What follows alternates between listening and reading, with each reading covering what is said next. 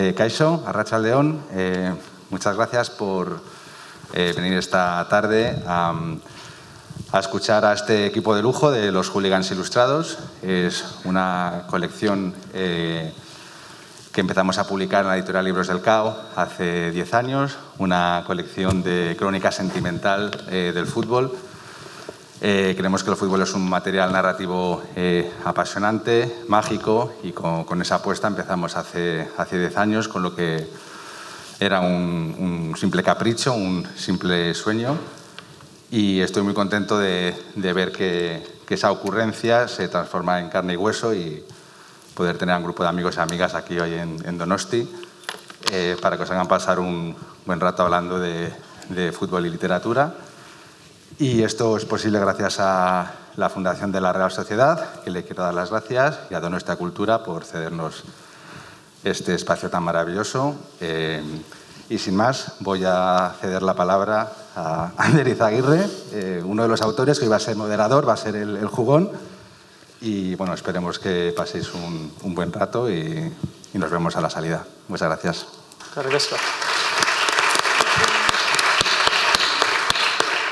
Arrachaldeón, eskerrik asko denoi, compañía Gatic. Como estoy en casa me han pedido que haga de portero mareador, me han dicho, que ahora hemos estado hablando por lo visto es un término que aquí se dice así, pero que en otros sitios, no sé, portero mareador no existe como tal. Bueno, ya hablaremos de... Eh, lo que voy a hacer es tirarles el balón para que jueguen ellos y, y, luego si queda el balón suelto en algún momento igual me acerco y le doy una patada, pero eso es más o menos mi función hoy.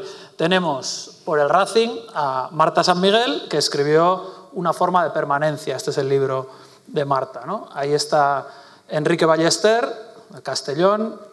El libro se llama Infrafútbol. Bueno, los tenéis aquí, pero bueno, también es bonito traerlos en, en carne y celulosa. Por el Celta, Lucía Taboada, como siempre, lo de siempre. Y por el Real Madrid, Manuel Javois, Grupo Salvaje.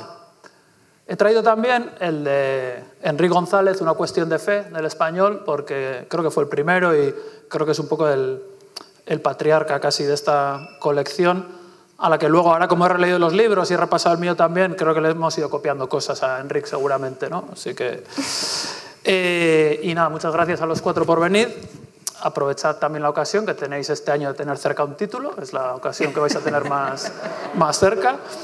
Y un saludo especial a Juanpa, que ha venido en tren desde Alcázar de San Juan, Ciudad Real. Nos hemos enterado esta mañana por Twitter, nos está, por ahí. Allí. Juanpa, ¿estás por ahí? ¿Hay alguno por ahí? ¿Está Juanpa? Ah, está bueno, aquí no vemos nada. No, nos ha impresionado bastante y, y que viniera desde Ciudad Real y eso es una muestra de amor y también nos pone un poco de presión, porque claro, esto, ahora hay que estar a la, a la altura de la expectativa. Y si no te gusta la charla, Juanpa, te pagamos el tren luego entre los que estamos aquí y, para compensar. ¿no?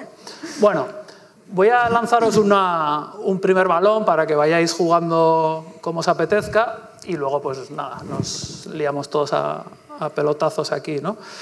Eh, lo que habéis escrito no es la historia de vuestro equipo, no es la historia del Celta o del Real Madrid o del Castellón o del Racing, ¿no? Son, habéis escrito libros muy personales sobre la relación que tenéis con vuestro club, en algunos casos vuestra ciudad, en otros no es vuestra ciudad. Eh, me gustaría preguntaros por qué el fútbol es una buena materia prima para escribir. Eh, ¿para, qué os, ¿Para qué os ha servido el fútbol? ¿Para, ¿Para hablar de qué cosas? ¿Para qué sirve? ¿Quién empieza? Empezamos así en orden, ni lo hemos hablado. ¿Quieres empezar tú, Marta, por ejemplo? Bueno, pues ya que me ha tocado cerca del título y con el año que lleva el Racing, pues sí, creo que va a ser lo más cercano que voy a estar. Eh, he de confesar que cuando me ofrecieron escribir el, el libro dije, Emilio, Emilio, el que acabáis de, de conocer, eh, le dije, deja de bromearme con esto que yo, yo estoy en, soy periodista en la sección de cultura. Y me dice, ¿por eso? Entonces dije, venga, vamos a hacer una cosa. Eh, escribo tres capítulos y, bueno, a ver qué pasa. ¿Y qué pasó? Que sonó un móvil después de, sonar el, el, teléfono. Escribí un capítulo, escribí el segundo, el tercero y, se lo envié, pero antes casi de, de que él me diera respuesta, eh, ya estaba escribiendo el cuarto, el quinto. ¿Qué pasó ahí? Que fue la excusa perfecta para, para ordenar la memoria emocional que me vincula a la ciudad en la que vivo. Y lo curioso de todo es que podían ser mm, mis propios recuerdos, pero en el fondo eh, funcionaban como un espejo para cualquier persona que viviera en Santander. Es decir, yo lo he vivido a través de mi padre, a través de mi hermano, a través de mi propia experiencia porque jugaba al fútbol en el cole, como todos los que estáis aquí. Entonces, al final, ¿qué sucedió? Que me di cuenta de que el, fútbol eh, es el juego sobre el que yo fui aprendiendo lo que luego la vida ha sido. Y si me sucedió a mí, le ha sucedido a cualquiera. ¿no? Entonces, el Racing, al menos en Santander, lo que le pasaba a la ciudad, te pasaba a ti, te gustara o no el fútbol. Y eso pues me di cuenta escribiendo el libro. Enrique, lo tuyo no sé si es casi un exorcismo, tu libro, porque sufres mucho. Dan ganas de preguntarte si estás bien, Enrique. sufría, sufría más, de hecho, creo que la primera versión, Emilio se preocupó por mí. Me dijo, porque era, claro, el Castellano había bajado a tercera división, que es la cuarta división, estaba a punto de desaparecer. La temporada en la que escribo el libro está a punto de bajar al fútbol regional. Y yo hace poco vi el, primer borrador y era como una llamada de auxilio mía, de por favor, sacadme de aquí. Y él me aconsejó un poco porque yo me tomaba demasiado a pecho el, fútbol, era, era, mi afición, mi pasión, era mi trabajo, eso, quieras o no, pues eh, nunca desconectas. ¿no? Y me dijo, oye, rebaja drama, rebaja drama, porque si no la gente vas a acabar llorando y, en tu casa te van a hacer una intervención cuando llegues, ¿no? Un día.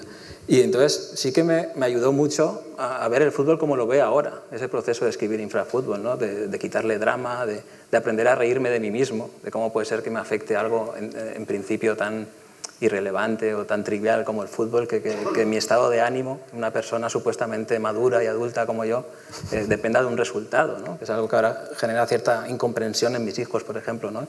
Y yo aprendí a reírme de todo eso y aprendí, aprendí a convivir con eso. ¿no? Y me di cuenta de que había mucha gente que, que, le pasaba lo mismo y que a lo mejor también necesitaba lo mismo, de aprender a reírse. Una terapia colectiva totalmente infrafútbol. ¿no? Y, como, como, ha comentado Marta, no es que te veas identificado si has vivido igual que yo ese proceso del Castellón, ¿no? porque todos eh, con el fútbol hemos perdido mucho.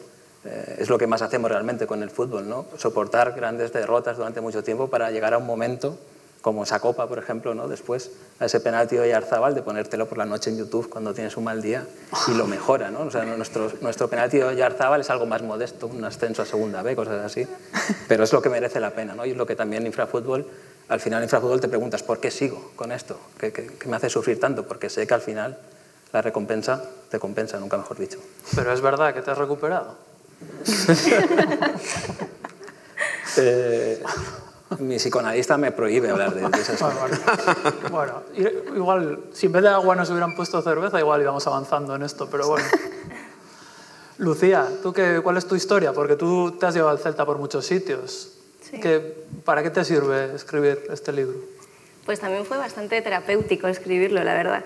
Eh, y también aprendí a reírme de, de todo ese peso y sufrimiento que lleva encima porque bueno, el Celta es un equipo que en la primera vez que nos clasificamos en nuestra historia para la Champions descendimos a segunda. o sea, es un equipo que la mascota del Celta, Celestino, desaparece un día del campo y se empieza a rumorear que le han detenido una redada antidrogas. O sea, eh, es un equipo del que se puede uno reír. Y también me sirvió mucho para, para, generar, o sea, para recordar ese vínculo con mi padre, porque al final el fútbol a mí me liga a mi padre emocionalmente mucho y fue también un ejercicio de introspección familiar muy bonito. Y realmente eh, creo que es una característica en común de casi todos los hooligans, que tenemos un vínculo familiar con, con, nuestro, con el equipo. Igual no todos, pero casi todos. Siempre llegamos al fútbol a través de un familiar. Y para mí también fue una forma muy bonita de acercarme a mi padre y de recordar que aunque mi padre es un hombre par con palabras, siempre se expresa conmigo a través del fútbol. O sea, siempre, por ejemplo, cuando jugábamos contra el Depor, nada más levantarme, lo primero que me encontraba era un mensaje de mi padre que decía, Forza Celta, puto Depor. y si no me levantaba con ese mensaje, yo sabía que ese día no ganábamos. Y, bueno, y la forma de expresarnos que teníamos familiarmente era a través del Celta. Así que ha sido también un ejercicio de memoria sentimental eh, familiar que por cierto el año que os clasificasteis para la Champions, ¿sabes a costa de qué lo conseguisteis, no? De la Real, correcto. De, de dejar a la Real sin liga para que la ganara el Madrid. O sea que nuestros dos enemigos los tenemos bien identificados. Esos son, ese es el enemigo. Manuel, tú eres del Madrid, aquí eres muy enemigo. Y tú eres... A eso vine. Claro, ¿no? y te hemos puesto un poquito en la esquina, que es donde tiene la escapatoria Por eso me pusiste al lado de la puerta. Tu libro es el, creo que es el segundo. Lo escribiste cuando eras cadete casi, ¿no? Esto, o sea No que... era ni del Madrid. No era- No, ya, ya, sí, Tururú. Se hizo con el himno. ¿Tú, tú te acuerdas del libro? Porque lo escribiste hace tanto, ¿qué, qué recuerdo tienes? Tuve que ver de qué equipo era. Eh, eh, no, el, el libro obedece a, a una pregunta que me hacían mucho, me la siguen haciendo ahora, ¿no? Y es cierto que me lo propone, me lo propone Emilio, me convence primero diciéndome que, que va a ser cortito, que es siempre para mí fundamental para convencerme, y, y segundo porque yo llevaba respondiendo intentando responder muchas veces a una pregunta que quise responder con este libro, que era que cuando conocía a alguien y, y pasaba con esa persona tiempo, un colega, eh, y mm, al final siempre me acababa preguntando, bueno, hablábamos de fútbol, ¿no? Siempre las conversaciones suelen desembocar de alguna manera en el fútbol y yo decía que era de Real Madrid y él siempre me preguntaba, él, él- ese él indeterminado, el que fuese, el que tuviese delante, me decía, pero cómo, pero parecías buena persona. No parecías del Madrid, ¿no? No, era así, o sea, pero no, no, no, te, no te cuadra ser del Madrid. No, no, no, no, no, yo, yo me quedaba como estupefacto. ¿no? Y entonces escribí este libro y efectivamente no, no soy buena persona. ¿no? me he dado cuenta escribiendo que... Pero ¿cuál era, que tu, ¿cuál era tu respuesta a ese...? mi, mi respuesta intentaba, intentaba razonar algo irracional, que es por qué un tipo de un pueblo costero de Galicia eh, es del Real Madrid. Em, lo asocio a ra- razones familiares, a mi abuelo, y, y lo asocio a que mi abuelo vivió una época en la que el Madrid era lo que ganaba fuera de España. Que, que es que creo que esta generación es, es bastante hegemónica, ¿no? Es decir, en los años 60 había muchísima más gente del Real Madrid que de, que de cualquier otro equipo, fuera de- también de Madrid, ¿no? Y, y ya está, pero no tengo ninguna... Lo cuento en el libro, yo con tres años mi tío me, me- me pone una camiseta de Johan Cruyff y me tiene que llevar al hospital, ¿sabes? De, de la llorera. Eh, y, y ya no recuerdo más. Teníamos un bar, en el bar se veía el fútbol y allí quien no era del Madrid lo tenía que sacar la Guardia Civil. O sea, es un poco de por supervivencia también. Pero ¿cómo se supone entonces que es ese personaje del Madrid al que tú entonces no te pareces? ¿Qué, qué imagen se supone que tenemos y por qué os la merecéis? Qué pregunta, ¿eh? por, la, por, la tendencia, por la tendencia a la generalización que hay siempre, ¿no? Es decir, eh, ya está, el Madrid tiene millones de seguidores en todo el mundo y, se establece que hay un tipo de seguidor que es un, un, un, asiduo del palco de puro corbata y votante de derechas. Que lo hay, ¿eh? De cojones. Pero, tío, ¿sabes? Eh, Yo qué sé. eh, que lo, que, lo, que, lo que sí me molesta es el madridista que, que a fuerza de no dar explicaciones o de no querer meterse en líos políticos, que me parece una salvajada no, tener que, tener que, no, no poder hablar de fútbol o de tu afición para no meterte en política, no, no, no reconozcas tu, tu filiación, ¿no? tu, tu afición. Joder, te- Madrid tiene aficionados de todos los colores y de todas las ideologías, todas, eh, casi todas perfectamente legítimas. y, y- y- y lo que ocurre simplemente es que eh, estás renunciando a una parte de tu infancia. ¿no? O sea, yo lo que no voy a renunciar es a lo que disfrutaba de niño viendo, viendo a mi club, viendo a mi equipo, ¿no? con mi abuelo precisamente. Y todos los recuerdos que tengo de él son, son recuerdos viendo el partido. Él era un madridista antiguo, es el madridista antiguo ese que odiaba al Real Madrid que cuando ganaba no lo merecía, que cuando perdía se jodían, o sea, era una cosa muy loca. O sea, yo para descifrar su ma- madridismo me pasé años enteros, ¿no? Y, y ya está. No se atrevía a ser del Celta, básicamente. Ya, sí, yo no me sé hubiera causado menos líos ser... Yo, yo una vez la lié en Pontevedra un poco, esto fue un poco provocación, ¿no? Yo soy muy, también del Pontevedra, caray. ¿no? Es, eh, de San Celso, mi padre fundó San Celso, que es mi pueblo, el, el equipo de fútbol, no, no Macondo. y, y, y del Pontevedra una vez me preguntaron en Radio Pontevedra que cuál era mi equipo favorito y yo dije con toda la inocencia del mundo, el Real Madrid. Y todo hubo un silencio así en la emisora, imaginaba yo en todos los hogares pontevedreses, y entonces me dijeron, bueno, ¿y el segundo equipo favorito? Y yo dije, el Madrid-Castilla. Hiciste el pregón del y me pueblo, quedé ¿no? encerrado allí una semana. Oye, pero es curioso esto que a ti te digan que no pareces del Madrid como un halago. Enrique cuenta que creo que cuando estabas de Erasmus en Suecia y se veía que eras capaz de hablar de política, de cuestiones sociales y te decían, Joder, pues no tienes pinta de que te guste el fútbol, ¿no? Pareces culto y sensible, ¿no? Hay, hay, ¿Notáis este, este asunto de siempre, ¿no? De, como la mala fama del fútbol para borregos, que es una cosa de... Sí, pareces listo y bien usado el libro, el verbo pareces ahí, pero sí, eh, pero no solo pasa desde, desde la cultura hacia el fútbol, también pasa del fútbol hacia la cultura, ¿no? Eh, y yo casi que lo noto a, día de hoy más en ese sentido, en esa dirección, porque digamos que el fútbol todavía es un insulto que te llamen filósofo o que te llamen poeta o que te llamen intelectual. El Castellón jugó el playoff el, el verano pasado y en, en, la rueda de prensa de la semifinal el entrenador del rival salió y lo primero que dijo es quiero pedir perdón al entrenador del Castellón porque le he insultado, le he llamado filósofo. O sea, era, eso era, y eso sigue pasando un poco, ¿no? sobre todo de, de, siempre se, hay cierta superioridad moral del futbolero hacia el al, al hincha del fútbol al entrenador de fútbol que intenta racionalizar todo eso, que realmente es, muchas cosas son muy emocionales y muy irracionales. ¿Pero crees que el fútbol te sirve sea, como materia para escribir? ¿Te sirve para otras cosas más allá de hablar del deporte? Tiene una, o sea, escribir de fútbol y a partir del fútbol de otras cosas tiene una ventaja muy grande que es que nadie espera que seas especialmente listo. O sea, eh, si tú escribes de fútbol ya, ya des, usas subordinadas, ya parece un poco que eres... Y si, y si te pones gafas como Marta eh, o como Bordalás y barba, ya es, es, es, el kit completo. Bordalás iba con chándal y, y, y, y, y afeitado y como un señor, estaba en segunda B y de repente se puso traje, se puso el kit Guardiola, ¿no? Un poco de, y, en primera división, y es la misma persona, ¿no? Y eso, los del fútbol podemos hacer eso, que no se espera gran cosa de nosotros. Te reñían hace 10 años, yo recuerdo que me reñían por citar una, una, alguna peli. Esto, esto es como cuando en, tampoco una peli iraní, ¿sabes? Esto es como cuando ya está este gilipollas con sus peliculitas. los comentarios de los artículos en El Mundo cuando estaba... A Fiñón le llamaban, a Laurent Fiñón, al ciclista, le llamaban el profesor porque tenía gafas. No, no, era, no había más, más sí, motivo. Y se, ¿no? y se, destaca mucho un futbolista que lee. O sea, que a lo sí. mejor lee los compactos de anagrama, o sea, no lee Había uno, gran hermano. muy profundas, ¿no? Y ya queda con la etiqueta esa que realmente es un insulto para los demás, porque nadie se sorprende de, yo que sé, un carpintero que lee, nadie se sorprende, ¿no? Pero un futbolista que lee es como un elefante que lee o algo así. Ya te toca la etiqueta esa para toda la vida.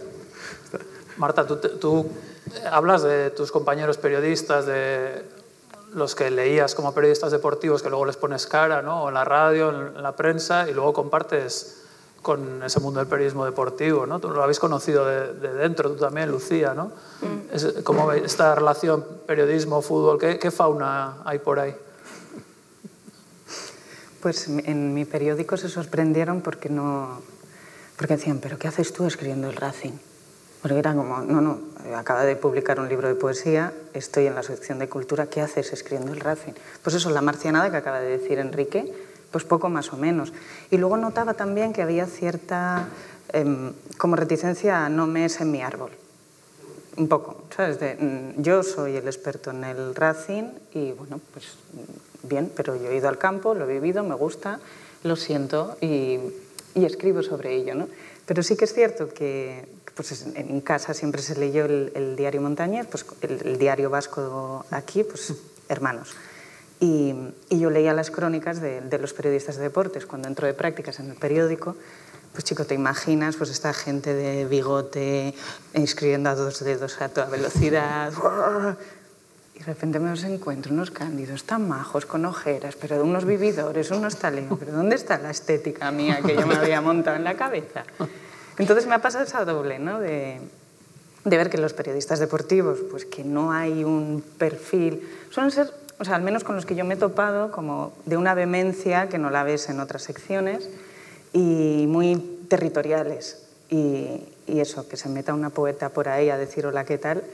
Pues les costó. Pero luego cuando leyeron el libro, he de decir que, que muchos periodistas que, que luego me confesaron que lo habían leído con cierta reticencia, les había gustado. Te aceptaron. Con lo cual, sí, se van cayendo muros, ¿no? O sea, sobre todo también que yo fuera una mujer, que eso también supuso pues, un, un cambio. Bueno, ha habido bastantes sorpresas en, alrededor de esto. Tu locura futbolera, eh, porque es grave, Lucía, la, doy fe que estuvimos hace unas semanas en Irún, fuimos a entrevistar a Visio Gorriz y había un Celta Real Madrid y vamos, no había quien te separara un segundo de, de la pantalla, ¿no? O sea, en tu entorno también de periodismo, eres la, en fin, el fútbol, eres la futbolera así especialmente con mucha fiebre? ¿Cómo, cómo, vamos, ¿Cómo lo vives en tu entorno?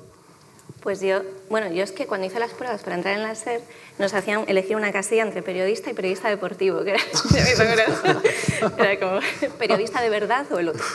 Y, y, yo elegí periodista porque yo nunca quise ser periodista deportiva. O sea, yo, a mí me gustaba mucho el fútbol, pero desde fuera. Y creo que es una cualidad también a la hora de escribir un libro de fútbol, porque una vez te metes dentro creo que te intoxicas un poco con... O sea, sabes cosas feas. A mí me gusta, yo creo que mantengo mucho la ilusión por el Celta porque no lo he vivido muy de dentro, porque si a lo mejor llego a conocer ciertos entresijos internos, me hubiese desilusionado un poquito. Por lo que me cuentan los periodistas deportivos que cubren pues, ciertas polémicas que hay con Mourinho, con el, eh, con el presidente, o ciertas cosas que yo prefiero no saber, ¿sabes? Yo como una niña pequeña que vivo el Celta con la misma ilusión porque no he estado muy metida dentro. Entonces, eh, yo vivo el fútbol como una aficionada. O sea, aunque he estado cerca de periodistas deportivos y a veces he cubierto algún partido del Celta y he hecho alguna cosilla así, yo sigo pensando que es mejor vivirlo desde fuera. Mm. Por lo menos es más, o sea, eres más iluso, te crees que todo va bien, cuando en realidad hay cosas que van muy mal ahí dentro. ¿Cómo lleváis? Claro, es que os dedicáis, algunos muy, muy al fútbol, otros de vez en cuando entráis y salís. O sea, es un tema que, con el que disfrutáis? ¿Es, ¿Se supone que es más ligero, más agradable o no tiene por qué serlo? Eso que comenta Lucía está en infrafútbol un poco, ¿no? que el fútbol de niño lo idealizas desde fuera ¿no? y, cuando lo conoces de dentro pues hay cosas que no te gustan de tu equipo, hay cierto desencanto. También creo que pasa con, con todo, con casi todo. ¿no? Tengo amigos que estudiaron económicas, querían fundar Facebook y están en un banco engañando a abuelos. ese, ese desencanto Creo que todo lo que conoces en profundidad, pocas cosas se sostienen. ¿no? Conoces a alguien que idolatras mucho, es difícil que mantengas ¿no? esa idolatría. ¿Pero qué cosas, sin dar nombres, qué cosas no te gustan cuando conoces de pues, cerca? Sabes cómo ficha un director deportivo, un director deportivo que fichaba con el Don Balón, dice, mira, el 11 del mes, este lo voy a traer en diciembre. Ah. Cosas así, o sea, eh, ese tipo de... Eh, hay un libro sobre el PC fútbol que cuenta historias de esas, ¿no? de, a, los que, a Gaby Ruiz, que programaba el, hacía la base de datos, llamaban presidentes de equipos de primera división, decían, mira, necesito un medio centro. En el juego, ¿quién es bueno ahí? De... dice, hombre, a veces decimos, queremos gente que nos represente en los clubes. a veces es el problema, que nos representa demasiado bien. Fichar, a alguien por lo que diga el PC Fútbol lo puedo hacer yo, pero no un profesional. ¿no? Y ese tipo de cosas que conoces, o eh, amiguismos, o cosas del vestuario, eh, si eres un hincha y cubres a tu equipo, eso es difícil de gestionar a veces, ¿no? porque también creas muchos vínculos emocionales con la plantilla, tienes que tener muy claro que la bufanda la dejas en casa cuando vas a, vas a trabajar. Y pues dedicarte a tu afición pues, puede ser muy bonito, puedes perder la afición y el trabajo. Ah, dice Lucía que no, me parece. Hombre, hay periodistas deportivos que la bufanda en casa no la bueno, la teoría, de hecho, la teoría. ¿Decías algo, Manuel? No, eh, se lleva mejor, respecto a lo que acaba de decir Enrique, yo creo que es mi impresión, y por la gente que trabaja en el periodismo deportivo que conozco, y los casos que he visto, mi impresión es que sea mucho mejor, por ejemplo, tener un colega o alguien con quien, a quien conoces o a quien tratas o quien te da información en política, darle caña a esa, a esa persona, que a un futbolista. Es decir, no se entiende, y, los periodistas han dado un malísimo ejemplo en España respecto a eso, que si tú eres amigo de alguien y hace un partido de mierda, digas, ha hecho un partido de mierda o le ha costado los tres puntos a su equipo. Es como un ataque brutal hacia ti, ¿no? ¿Cómo, cómo me estás haciendo esto? ¿no? Me estás matando esta frase tan, tan de periodismo deportivo, me estás matando. Y en política yo creo que eh, dentro de las presiones, el tráfico de influencias, etcétera, toda la cloaca que hay en ese mundillo político-periodístico, eso es como más natural. Eh, a lo mejor si sacas una cierta información que haga más daño, pero en cuanto a opiniones, en cuanto, eh, yo creo que eso se lleva con más naturalidad y ves muchas veces que hay relaciones de gente que, que, que, en teoría no, no, no, pensarías que se llevan bien, ¿no? porque en los platos dice no sé quién de este y demás. Pero en el fútbol eso yo creo que es más complicado. Si eres amigo de un entrenador, se va muy mal que, este, que digas este entrenador tiene que marcharse porque ha hecho una temporada muy mala. No, es como, no, no, creo que ahí se lleva un, poco peor, ¿no? Sí, en una entrevista que le hice a Colsa a propósito de unos podcasts que está haciendo Lucía, precisamente me dijo, dice, nunca he tenido un amigo periodista. Por esto que está diciendo Manuel, efectivamente. Porque tienes que establecer una distancia necesaria. Sí, hay mucho vicio de cercanía igual, ¿no? Sí, y yo creo que es una distancia sana, tanto para el futbolista como para, para el periodista. Me gustaría pediros un pequeño ejercicio. Hablábamos a preparar la charla, ¿no? Bueno, cada uno viene hablando de un club y, bueno, pues a ver, eh, Pues yo soy donostiarra de la Real, aquí sabemos que ser de la Real es de algo más, ser de algo más que de un club de fútbol, una comunidad, un no sé qué. Todos creemos que nuestro club representa algo especial, distinto, que no tienen los demás. ¿no? Y algunos de vosotros en vuestro libro hacéis un ejercicio de intentar explicar qué es eh, vuestro equipo. ¿no? ¿Tenéis más o menos clara una idea de qué es o para qué sirve, qué, qué se puede contar con vuestro equipo? ¿Qué representa? Ah, preguntitas, Elander. ¿eh? Algunos lo, el primero, tú eres la primera. algunos lo contáis de manera bastante explícita, ¿no? Bueno, no lo sé. Yo lo puse de... Bueno, mentira, lo, lo puso la editorial, el- la frase que cierra el libro. El racinguismo es, una- es quedarse quieto mientras todo arde. te tienes que quedar y, tienes- y- y te tienes que quedar y, y los accionistas han salvado al equipo. Y, te tienes que quedar y verle caer y, te tienes que quedar y tienes que seguir. ¿no?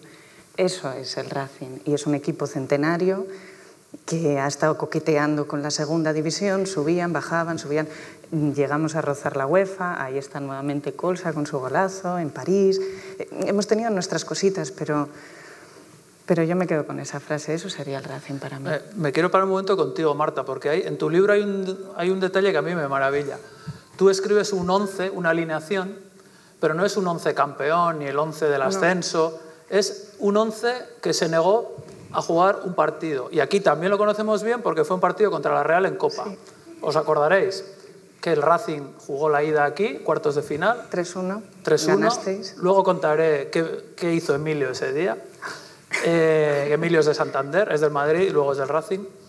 Y luego se jugó la vuelta en Santander. que no se juega. Y si nos puedes explicar qué pasó y por qué dedicas tantas páginas a un equipo que no jugó.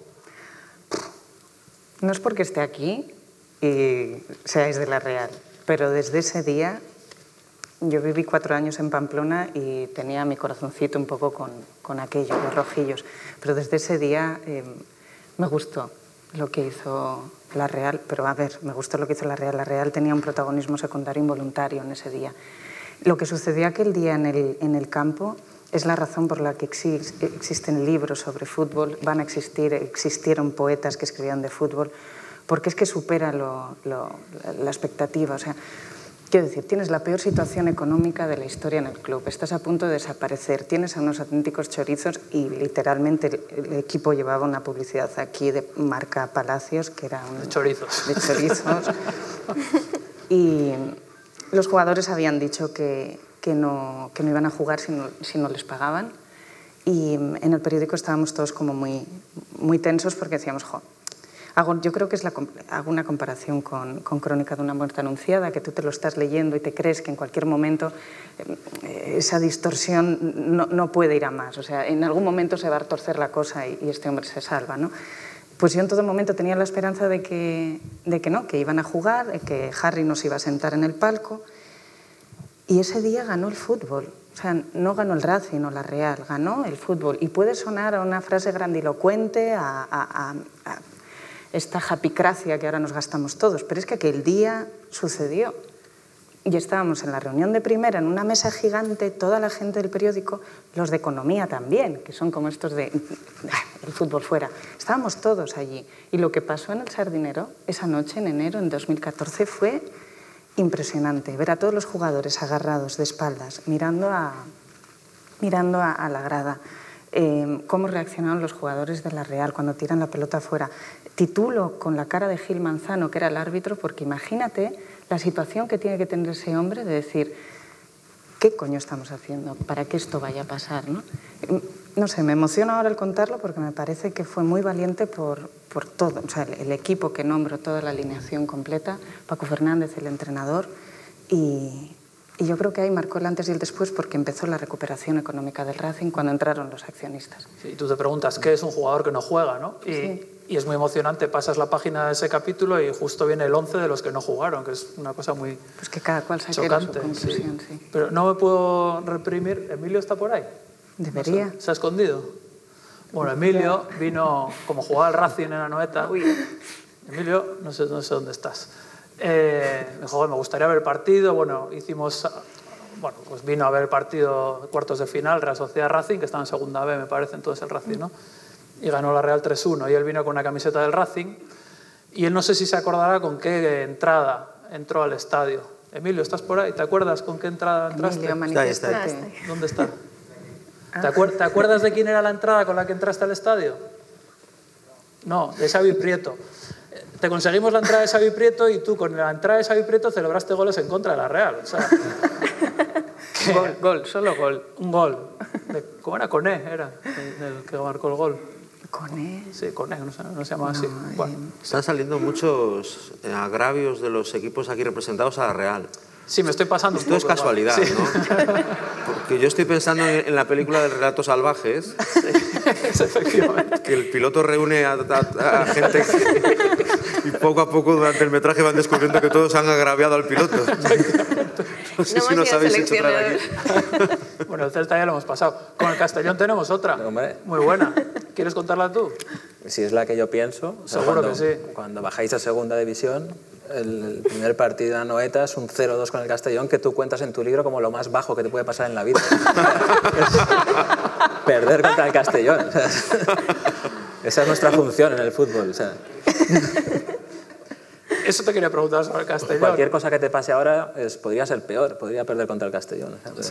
Te diré que eso es- es gracioso y es verdad, pero en realidad tú también distorsionas un poco, porque Sí, luego hay otro con el poliegido, ¿no? efectivamente, Sí. o sea, el primer partido en segunda... desgracias es mucho. La desgracia es perdemos el primer partido en segunda con el Castellón 0-2, pero el siguiente es Real Sociedad 0, Polideportivo Ejido 1. Eso, esa frase para- es tatuada, ¿no? Yo estaba en el campo del Polideportivo Gido y desde la tribuna se ve como un mar de, de invernaderos, de plástico. Es, es- es- es muy feo el campo. ¿Y qué hizo el Castellón ese día? Ganamos 0-2. Ganamos 0-2 y empezamos. a- sí, sí. Jugó un tal Pulga, que era mi ídolo. Bueno, da igual. Que el Castellón, una frase, ¿no? Era la pregunta. Y una vez escribí el Castellón, pues el Castellón es una mierda, pero es nuestra mierda. Y creo que eso resume un poco. Hubo gente que se enfadó, no sé por qué, pero, pero resume un poco lo que puede vender el Castellón a, a, su aficiona- a sus aficionados. ¿no? Tenemos cerca un equipo a 7 kilómetros, que no sé si conocéis, que se llama Villarreal. Que ha Eh, ganado la Europa League el año que habéis bajado. Sí, o sea, esa copa ya no, no vale nada. Eh, no me impresiona. Y entonces el Castellón tuvo que reinventarse de alguna manera, ¿no? porque el Castellón había sido un club cualquiera, de una ciudad que había estado pues, 11 temporadas en primera, en distintas épocas, y de repente pues, aparece un, no sé, un, un avión que le, que le adelanta en lo político, en lo económico, en lo futbolístico, eh, en lo empresarial. Y el Castellón tuvo, se quedó un poco desnortado, pero esa caída a, a tercera división, que es cuarta división, que nunca había estado hasta 2011, desde que existía la segunda B, nunca había estado tan bajo, pues hubo que tocar fondo eh, para reinventarse, ¿no? con un relato más basado en lo identitario, ¿no? es decir, bueno, eh, somos el equipo que representa a esta ciudad de alguna manera, eh, la militancia no consiste en quiero ganar, eh, por supuesto que quiero ganar, pero no solo eso, no depende de eso, y, y de alguna manera ese milagro pues, eh, prendió la chispa y batió el récord de abonados de su historia. El Castellón en primera división en los 90 pues, tenía 6.000, 7.000 abonados y de repente en tercera pues, llegó a 13.000 prácticamente. ¿no? Y eso se consiguió pues, cambiando el relato del club. ¿no? Es una mierda, pero es la nuestra, ¿no? pase lo que pase. Pero hablas también que es una especie de que puede aprovechar la oportunidad para mostrarse como un símbolo de lo que el fútbol moderno ha hundido, ¿no? Esa Eh, nostalgia. Es un relato un poco tramposo también, ¿no? porque al fin y al cabo el Castellón es una sociedad anónima deportiva también. eh, eh, pero bueno, todos los relatos tienen una- algo de forzado. ¿no? El relato del Madrid es eh, la victoria, aunque no siempre gane, pero está ahí. ¿no? El relato del Barça sabemos cuál es, aunque también si te pones un poco ahí a, a- A como, como hace Enrique González en el hooligan de una cuestión de fe. Pues, pero bueno, to- todas las grandes corporaciones tienen un relato y hay que potenciarlo. Y el Castellón ha encontrado ahí un filón, porque, porque vincular la militancia, tu clientela, a, a no hacerlo bien o mal, eso es, un- es un maná para cualquier empresa. ¿no? Aunque te den un producto de, de mierda, nunca mejor dicho, pues la, la gente sigue. ¿no? Y este año, después de, de subir sin poder ir, prácticamente ha habido sold out de abonos, ¿no? sin poder ir al estadio. Me impresiona como cada vez que dices tercera divi- división dices que es la cuarta. Claro, es tienes, que- que, tienes que recar- Es que aquí, el fondo. ¿no? aquí en, el fútbol, en el fútbol español podríamos llamar primera, segunda, tercera, cuarta, no. O sea, se hace primera, segunda, primera federación, segunda federación. Y ahí la gente mayor de Castellón tenía muy metido que nunca había estado en la cuarta división del fútbol español. ¿no? Era que jugábamos contra pueblos que no sabíamos ni que existían. O sea, Lo tengo apuntado por aquí, Llosa de Ranes. Llosa de Ranes. Y ahí, ahí no es que fuéramos, es que perdíamos, íbamos y perdíamos. O sea, claro, tú juegas contra un pueblo y piensas, pues me voy a salir en tercera división, ¿no? Pero eh, ahí en Llosa de Ranes eh, acabó el partido y salió, bueno, en el bar del campo había como un, tablón que anunciaban quién se moría en el pueblo y a qué hora era el entierro y esas cosas. Era como eh, el teletexto de allí. Y, salió al final un hombrecillo ahí, eh, fue lo más grande que ha pasado en ese pueblo, ganarle al Castellón, nos recibían como al circo, ¿no? a la mujer barbuda. Y se puso a torear ahí en el medio del campo. O sea, y yo volví a mi casa, paré en el McDonald's a enviar la crónica pensando, ¿qué hago con mi vida? Y luego como que era, deprimente el libro, claro, ¿qué va a ser? Y jugasteis contra la Juventud Barrio del Cristo. También. Juventud Barrio del Cristo, que también perdimos 2 a 1. Salió el. Domingo a las 12 de la mañana, yo juraría que el portero suplente del Barrio del Cristo no había dormido. Expulsaron al titular porque salió como medio en pijama, llevaba un pantalón largo. Falló el penalti un gallego, por cierto, Stefan se llamaba. Y con uno menos nos metieron el 2 a 1. Nos metieron el 2 a 1 y a la semana siguiente el Castellón hizo huelga y no jugó tampoco. Pero al contrario que el Racing, que el Racing seguro que la gente apoyó a los jugadores, sí. pues en Castellón hubo ahí casi los, hubo división de opiniones. Sí. Me voy a deprimir otra vez, ya lo tenía superado. Mira, como terapia siempre viene bien contrastar con alguien a quien le pasa algo peor. Entonces le voy a preguntar a Lucía, no, eh, no por desgracias tanto del club, sino, bueno, también que nos hables del Celta, pero tú tienes tú dices que, estuviste, que diste la vida por el Celta casi de manera literal. O sea, es muy, es muy tremendo lo que tú cuentas, ¿no? Y esto que ha contado eh, Enrique es una tontería lo de lo que te pasó a ti, si nos lo quieres contar. Sí, sí, lo cuento, lo cuento. Pues el Celta jugaba eh, una de estas temporadas que estábamos iluminando Europa por los años, yo creo que fue eh, la pretemporada del año 98. Y no sé si os acordáis que antes en las pretemporadas hacían presentaciones de los equipos muy fastuosas en los estadios, que esa es una cosa que se ha perdido ¿no? con, con los años, ya no se hace. Bueno, pues tuvieron la brillante idea de tirar dos fuegos artificiales dentro del estadio, cosa que ahora está prohibida por motivos obvios, pero entonces no. Y hubo dos que chocaron en el cielo y uno cayó en la grada y ahí estábamos mi padre, mi hermana y yo y nos impactó a los tres. Entonces, bueno, pues tuvimos que irnos a urgencias porque la metralla pues nos, nos impactó bastante. Y al llegar a, a, urgencias vino el entonces presidente del Celta, que era Horacio Gómez, y nos dijo una frase que, vamos, para mí es imborrable, que tengo grabada en mi mente. Le dijo a mi padre, no lo hicimos a propósito. y dijo a mi padre, hombre, menos mal. Y bueno, y Horacio Gómez nos prometió entonces una visita a mí y a mi hermana al campo de entrenamiento del Celta, que era la madruga, nos prometió que íbamos a conocer a los jugadores, nos prometió que íbamos incluso a hacer el saque de honor desde el centro del campo, las víctimas de aquella tragedia pirotécnica, y evidentemente eso nunca se produjo, entonces yo siempre digo que mi primer gran desamor fue, fue por culpa de Horacio Gómez, que estuve esperando su llamada un año y nunca nos llamó. Y, y bueno, el Celta era un poco así, o sea, en, en el Celta pasaban estas cosas. Eh, era un equipo pues, que rozaba siempre la gloria, pero también la desgracia. Entonces, los aficionados del Celta nos hemos acostumbrado a, los insabores y, a saber que la gloria nunca nos llegará. O sea, esto es lo más cerca que he estado yo de una copa en mi vida. Y nada, lo digo en el libro. Eh, siempre hay el titular asociado al Celta, del Celta rozado la hazaña. Y digo que la hazaña debe de querernos mogollón, porque llevamos años rozándola y haciéndole de todo a la hazaña. Y nada, pues nos hemos quedado pues, a las puertas de ganar tres Copas del Rey, eh, en semifinales de Europa League. Hemos hecho temporadas gloriosas, pero nunca hemos consumado. Entonces, somos aficionados pues, que siempre nos quedamos en la previa. Y yo creo que esa expectativa de conseguir algo también es bonita, porque nos mantiene ahí un poco ilusionados eh, de que algún día eso llegará, aunque en el fondo pensamos que no va a llegar nunca. Entonces, somos aficionados sufridos, pero somos muy sentidos yo definiría así al aficionado del Celta. Y tiene peso también, eh, es muy habitual en todos los casos, pero también a veces nos definimos por oposición, por rivalidad, ¿no? Y en tu caso el deporte tiene una cierta presencia. Estaba buscando una frase que me hizo mucha gracia del libro, a ver si la encuentro, que tú parodias más o menos una noticia de la televisión gallega, que no la encuentro, pero más o menos dice eh, y, yo, y, ahora, después de ver cómo el Deportivo ha movido los conos en su campo de entrenamiento, vamos con el Celta que ayer goleó en Europa. ¿no? Esa sensación de agravio, que aquí también conocemos un poco, que es dentro del relato típico. También, ¿hasta qué punto funciona por oposición a un equipo vecino que va y os gana una, o gana una liga? En fin. Sí, sí. Eh, o sea, tener al Depor como rival siempre ha sido como perseguir una sombra, porque por mucho que ellos estén, por cierto, esta temporada han estado en segunda vez, dato que, que estoy dando así. Un dato, es un dato, ¿no? Es un dato. Bueno, y de hecho le, le ganó el Celta B en Riazor esta temporada. Otro dato. Otro dato. Eh, pero durante años el, el Depor era un agravio comparativo con el Celta siempre en el que salíamos perdiendo, evidentemente. Ya no solamente por los títulos que nosotros no teníamos, ellos sí, por todo lo que rodeaba el Depor. También lo cuento en el libro, el Depor y su pulcrísimo y maravilloso estadio frente al mar, Riazor, y los otros con Balaídos, un estadio donde había un foso, donde había ranas.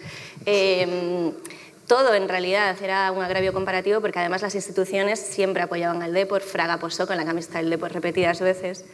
Creo que a Balaidos vino una vez y perdimos, o sea que no volvió. Y siempre en la televisión gallega, la TVG, siempre salía primero el Depor, siempre, de forma automática. Entonces el Celta siempre era el segundón, ¿no? Y cuando eso se empieza a revertir hace unos años, eh, daba igual, porque ellos tienen el discurso de, de los títulos al que siempre recurren, y contra eso no puedes luchar porque empiezan y te dicen lo de las copas de cristal y nosotros tenemos las copas de verdad. Pero, pero sí es cierto que eso reviste de épica un poco también al celtismo porque tener ahí un rival, tu némesis, también te da como mucha épica cuando le ganas y, no sé, eh, en realidad durante muchos años esa rivalidad Celta-Depor mmm, yo creo que hizo de la liga general y de, nuestra propia rivalidad algo muy bonito, porque hubo ahí una época en la que los dos estábamos en Europa muy bien posicionados, el de por siempre mejor, pero nosotros estábamos ahí y se generó ahí una rivalidad eh, bastante profunda, yo creo que de las mayores de España, me atrevo a decir. Mm. Manuel, ¿tú crees que algún, los equipos más modestos que el Madrid nos recreamos en la derrota y nos creemos mejores porque perdemos? Hay como, en los libros en general hay como un gusto y entonces el Madrid es este arrogante que siempre gana. ¿No, ¿No, te parece un poco tramposo el discurso del perdedor? No creo que, exista ese discurso. ¿no? Eh, creo que los, los equipos eh, con mucho menos presupuesto que el Real Madrid y que el Barcelona, o, en un eslabón un poco intermedio el, Atlético de Madrid, que le llega con, con, lo, con el gasto, saben perfectamente que la Liga la gana uno de 22, ¿no? y que la Copa de Europa la gana uno de no sé cuántos, y la Copa del Rey la gana uno de, de todos los equipos españoles en competiciones, y la tenéis aquí. ¿Sabes? Hoy hablaba con un, con un colega vuestro, ¿no? Enrique y yo, que, que, me decían, bueno, igual, ¿cómo se ve desde fuera? Igual estamos un poco crecidos, ¿cómo vais a estar crecidos? Joder.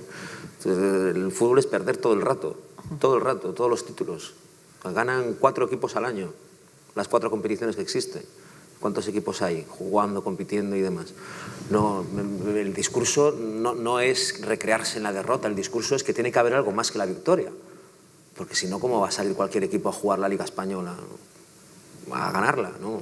Vas a, vas a unos tienen el objetivo de la permanencia y otros pues quieren hacer un fútbol agradable, un fútbol que llene, que, que, que el estadio esté contento, pelear, eh, yo que sé, hay un discurso alternativo al de la victoria porque el discurso de la victoria pertenece a cuatro o cinco equipos en, en cada país en cada país, vamos, en España normalmente dos o tres y en Inglaterra o en las demás ligas casi, casi lo mismo. ¿no? Por lo tanto, no, yo no creo que haya, no somos mejores porque perdamos, ni muchísimo menos. Hay más autenticidad. Bueno, pues, pues evidentemente el Real Madrid no, el, el, el, relato del Madrid no tiene que ver con el relato de la comunidad que, por ejemplo, puede haber aquí, con el relato de una cierta, de, de, de, de un enraizamiento, etcétera. Evidentemente hay mucho madridista en Madrid, pero Madrid es grande porque hay muchísimo madridista fuera de Madrid. ¿no? Es un equipo como más disperso, cuyo relato ha consistido desde que se refundase en los 60 con la llegada de Di Stefano y de Bernabéu en ganar. Y es que nos da igual, que no nos silban los oídos porque nos digan que el árbitro te benefició, yo he ganado. ¿Sabes? Es decir, eh, y, y, con esto, pues, pues el 1-0 de, de, o el empate de Lisboa nos da exactamente igual cómo. Eh, solo tenemos como objetivo ganar, competir, eh, etc por supuesto se alterna con grandes fases de juego espectacular y con grandes fases de juego de mierda, pero el objetivo siempre no, nunca va a haber un discurso de Madrid eh, embellecido por hemos llegado a ser, el otro día por ejemplo había polémica porque Hazard se quedó en el campo bromeando con unos colegas del Chelsea, ¿no? cuando el Madrid palmó en la Copa Europa en semifinales.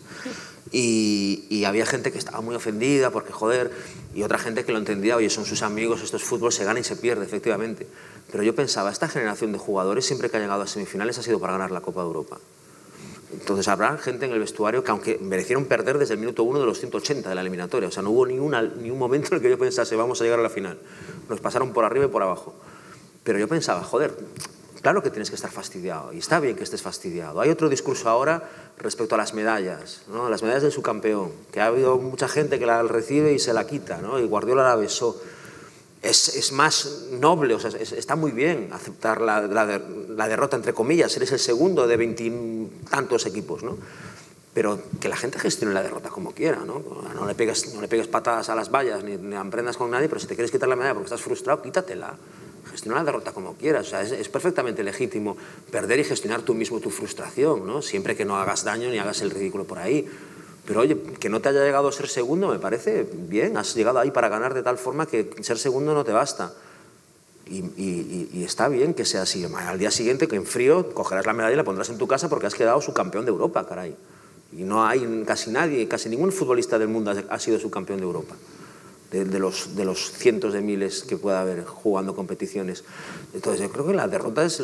Tú cuando empiezas a jugar un deporte, yo jugaba al tenis cuando era crío, yo perdía, o sea, yo no ganaba torneos de vez en cuando, pero si hacemos un balance de, ganados y perdidos, pues te sale positivo Nadal, Federer, Djokovic y, cinco más. La gente no gana, los torneos los ganan los que los tienen que ganar, los que los... Pero lo normal es perder. Cuando te pones a practicar un deporte, el fútbol, lo que sea, parte con la premisa de que vas a perder seguro y ganar va a ser la fiesta que tiene que ser por haber ganado. Y cuando los de otros equipos decimos, bueno, pero es que estos que se hacen de Madrid, que ganan siempre, para ellos ya no será tan especial, esto de ganar es una rutina, no saben lo que es ganar una liga como la Real en el último minuto, después de 80 años de historia, eso no se puede porque es tan insólito. ¿Qué contestas a eso? ¿Eh? Creo que... ¿Qué? Sí, perdón. Solo el resumen de las últimas palabras que estaba ahí. Sí, no, que... Bueno, me has, me has oído la pregunta. Que, que sí, sí. Que, que, parece que tiene menos valor vuestras mm, celebraciones, eh, vuestros disfrutes, porque son más habituales. Sí, pues es cierto, claro, es diferente. O sea, yo, eh, no, no, es lo mismo. Fíjate, nosotros estuvimos 32 años sin ganar la Copa Europa. Cuando se ganó en Ámsterdam, aquello era el final del mundo. Luego estuvimos 12 sin ganar la siguiente, ¿no? la, la décima. Y después de la décima vinieron tres más. Y, tío, las celebraciones de la de Kiev ya no fueron las mismas. Y yo tuve la oportunidad de viajar en el avión de vuelta en dos de ellas. Y la fiesta de una de ellas no tenía absolutamente nada que ver con la, que, la fiesta que había por tercera vez. Si un equipo como la Real gana la Copa del Rey después de X años, un título, pues la fiesta tiene que ser la que tiene que ser, por supuesto. Y si ganáis cuatro seguidas, ya os garantizo que la cuarta no la vais a celebrar ni la mínima parte que, lo, que la primera. No significa que, pesen, que, que valgan lo menos, valen exactamente lo mismo, pero el, la euforia, el entusiasmo y sobre todo la sorpresa es completamente diferente, ¿no? Cuando, cuando las, ha costado el mismo esfuerzo y el trabajo ha sido el mismo y va a pesar lo mismo en las vitrinas y va a tener el mismo valor. Pero la afición, si la ganas cuatro veces seguidas, peor es perderla cuatro veces seguidas. Eso te lo garantizo. ¿Tenéis algo que decir al respecto? Es que vaya tres aquí, hablando de ganar. no, yo sí que creo que hay, un, hay una superioridad moral ¿no? respecto, yo lo veo mucho en la afición del Castellón, ¿no? respecto a la afición del Madrid, a lo mejor, ¿no? estos no saben lo que es sufrir de verdad o militar, ¿no? y también una superioridad moral a la inversa de, del madridismo, a lo mejor respecto, ¿no? estos se piensan que el fútbol es hacer tu bocata con tus amigos y realmente el fútbol es ganar. ¿No? Y todos tienen parte de la razón. Y yo siempre digo, en el Bernabéu se solía cantar, ¿cómo no te voy a querer si eres campeón de Europa por décimo no sé cuánta vez? ¿no? Y en Castalia se canta en Castellón, ¿cómo no te voy a querer si jugando en tercera yo te vengo a ver? ¿no? Son, son dos militancias distintas, no sé si es mejor o peor una a otra, ¿no? pero son totalmente distintas, la manera de acercarte al fútbol y a tu equipo. Sea, al final la intensidad de la emoción quizá no dependa del grado del título, ¿no? Sino, bueno, claro, no sé. yo creo que más feliz que fui yo el 24 de junio de 2018, cuando el árbitro pitó el final y el Castellón salió de tercera a segunda B, que un ascenso de tercera a segunda B es una cosa rutinaria, ¿no? O sea, yo qué sé, hasta el tropezón de Thanos habrá subido, lo siento Marta, o, o el Marino de Luanco, lo siento, o sea, un montón de equipos que, que, no sabían ni que existían, cada año subían de tercera a segunda B, ¿no? Y para el Castellón, eh, para mí fue el momento más feliz. O sea, que a lo mejor ganamos una copa dentro de 30 años, que una vez jugamos una final, o sea, que quede claro. Yo sí. eh, pero yo creo que ese momento de 2018, porque sin ese momento no había nada más, ¿no? Y medir la felicidad es imposible también. el último gran hito en Pontevedra fue el ascenso de Segunda B Segunda en 2004 y esa fiesta la recuerda todo Dios. Llevamos 25 o 30 años sin, sin subir de la Segunda B, duramos un año, por cierto pero un fiestón que, que, ni en las copas de Europa ni, ni, historias. Es decir, era, era, al final tú celebras, coño, lo que, lo que la, la, ciudad sale a la calle, estuvimos allí, que parecíamos Nápoles con la primera, con la primera, con la primera liga. Creo que estaba o sea, Manu Busto en ese equipo, ¿puede ser? Sí, Busto, sí, que luego sí. metió el gol del ascenso del Castellón en y el estaba, 2005. y, y, estaba Yuri, el que, está, el que ahora está jugando todavía, que el otro le hicieron un reportaje porque está en la Ponferrada o algo así, sí, lo tenemos. Que es cántabro, Manu Busto, todo está conectado. Sí, Manu Busto se había marcado un golazo además en, esa, en, ese, en el último partido. Era muy bueno. Que ¿Estabas como a punto de sumarte alguna emoción, Lucía? Me parecía que, que querías recordar alguna emoción en el estadio. No, yo- Otro ataque terrorista del club. No estuve a punto de morir más veces por el Celta. Eh, no, yo lo que sí que creo que a lo mejor los aficionados, no es superioridad moral, pero sí que creo que a lo mejor los aficionados de, de equipos que no nos acostumbran a ganar, tenemos un tipo de fidelidad diferente, no sé, una fidelidad más, más de barro. Y, tengo aficionados, o amigos aficionados en Madrid que en cuanto deja de ganar, bueno, tiene una temporada mala como esta, que no ha sido mala, pero bueno, se desconectan más rápido, ¿no? Y luego se vuelven a conectar y vuelven y fluyen. Y nosotros mm, no, somos más fieles, yo creo, en, en- en cierta medida, ¿eh? No, estoy generalizando, pero, pero en parte creo que sí. Igual por lo que decía Manuel también, que tiene relación con un equipo más relacionado con una comunidad concreta, es el equipo de tu ciudad. Tú no ibas al estadio, Manuel, tú oías al Madrid en la radio. Para mí el Bernabéu era Marte, ¿no? Madrid Marte. en general, sí. Buen libro, ¿eh? Sí, ah, sí, bueno, fíjate, casualmente. Mira que hay planetas. sabía, no sabía yo. No, pero esta, esta frase la, la tengo en Grupo Salvaje 10 años antes de escribir Marte, pero tengo eso de que para mí, para mí el Bernabéu era... Y, re- y las primeras veces que, que, que iba a Madrid, cuando fui a Madrid, que fue hace nada, hace, hace ocho años, me sentaba ahí y veía el estadio desde fuera. Me parecía algo... Claro, yo soñaba con eso, primero con jugar ahí, cuando era niño, ¿no? Luego cuando ya se impuso la realidad con estar ahí animando y demás, tenía, tenía un- una, una mitificación. Pero yo creo que la afición es tan grande, o sea, hay tan, es tan dispersa, que también hay ese, ese tipo de aficionado madridista duro que tiene todos los clubes, que se sabe, los chavales de- que van a la, a los- a la cantera, que se sabe quién está proyectado, quién no, quién es el- las cesiones, es decir, que, que es el, el aficionado del club. Y si el club está en X división con X jugadores, eh, tienen, los siguen igual. ¿no? Pasa que, que al ser una masa tan grande, al final estás pendiente de las estrellas que fichas, de los títulos que ganas, de dónde llegas en, en Champions, etcétera, ¿no? que es un poco lo que trasciende. Pero yo, yo he conocido a gente de- del Madrid de, de- de- de club, o sea, de, parroquiano, Tú, madridista. tú hacías de niño una cosa muy peculiar, muy en siglo XX, que era grabar, creo que en la radio, los goles ¿no? del Madrid y luego guardarlos, creo que lo comparas con tener en el congelador y luego sacarlos para volver a escucharlos. Eh, esto es casi un debate sobre el erotismo. Eh, ¿Te parece, ahora que los goles los vemos 18 veces, están en YouTube, los vemos de siete ángulos, era más emocionante cuando eran imaginados? Tú oías los goles de Hugo Sánchez en la radio y te los ponías. Yo, buscaba, busco recuperar las mismas emociones, algo imposible, pero es cierto que con YouTube, con un audio adecuado, las primeras veces que lo repites, cuando ya has visto el gol de Ramos en Lisboa, por mi, ya pero las primeras veces era como, joder, volver a vivir aquello, ¿no? Yo creo que una imagen te emociona más. El otro tenía el romanticismo de- de- del audio.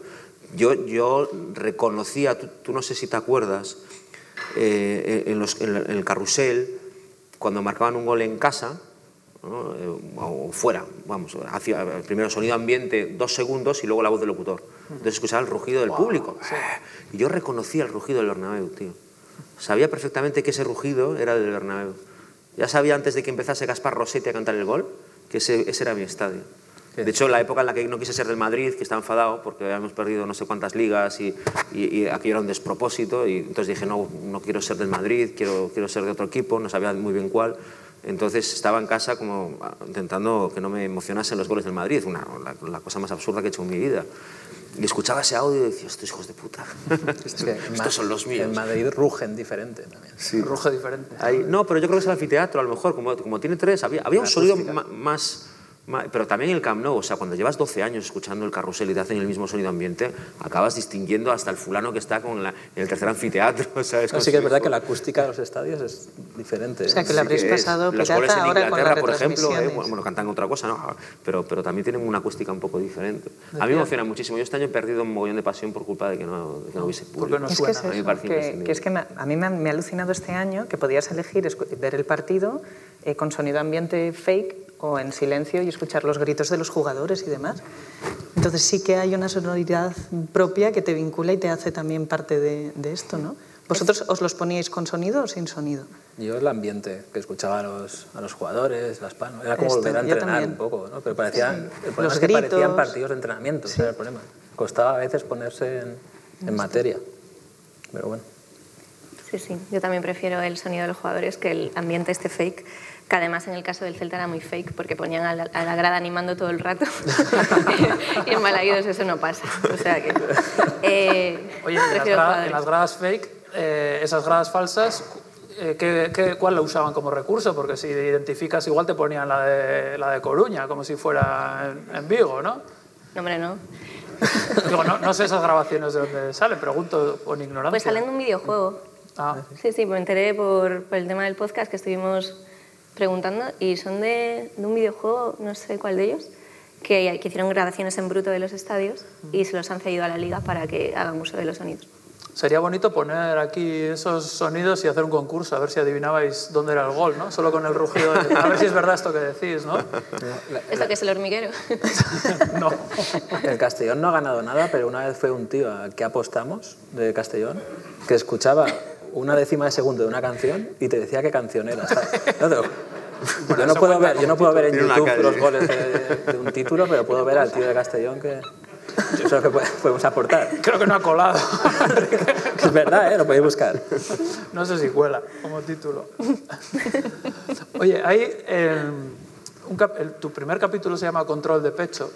Eh, ahora, como he, he, releído, he, releído, seguido los libros, me he dado cuenta de algunas cosas. Eh, eh, Lucía habla que en un momento dice, si yo hubiera sido niño, hubiera sido distinto, hubiera jugado a las pachangas, el hecho de ser chica, la aproximación al fútbol la hizo distinta. Y en tu caso es muy llamativo cómo cuentas como eres una chica que juega fútbol con todos los demás hasta cierto día, ¿no? Y a partir de ahí hay una diferencia. ¿Nos quieres contar eso? Sí, sí. sí el título es elocuente. Es decir, eh, hice un control de pecho y ese día en el que, bueno, pues fue, recuerdo ese día, pero supongo que el proceso debió de ser más largo. Pero el día en el que me di cuenta que mis compañeros, que hasta entonces eran chicos con piernas y brazos con los que había crecido, pues de repente se me quedaron mirando. Y de repente me volví visible de otra manera. Y eso lo descubrí jugando al fútbol. Y el control de pecho lo hice genial, pasé bien, continuó la jugada, pero noté que ahí había sucedido algo. Y con el tiempo, pues igual cuando acaba el curso, eh, probablemente cuando volví ya no jugaba tanto, eh, al que le pasaba por la banda, pues luego en vez de pasarle el balón, pues esperaba que me llamara por teléfono. eh, cuando iba al cine, en vez de decir, hey, ¿habéis visto un nuevo trusco que me han regalado? Pues decía, ¿te quieres sentar a mi lado? Ese cambio, ¿no? Entonces, por eso cuando decía al principio que al final jugar, eh, o sea, el fútbol es juego, y en tanto que entendemos el juego como una manera de aprendizaje, eh, a mí el fútbol me enseñó eh, lo femenino. Y, y, me encanta la situación actual del fútbol femenino, o sea, el triplete, por ejemplo, de las chicas del Barça, lo más reciente. Yo no sé si hubiera seguido jugando al fútbol, me encantaba.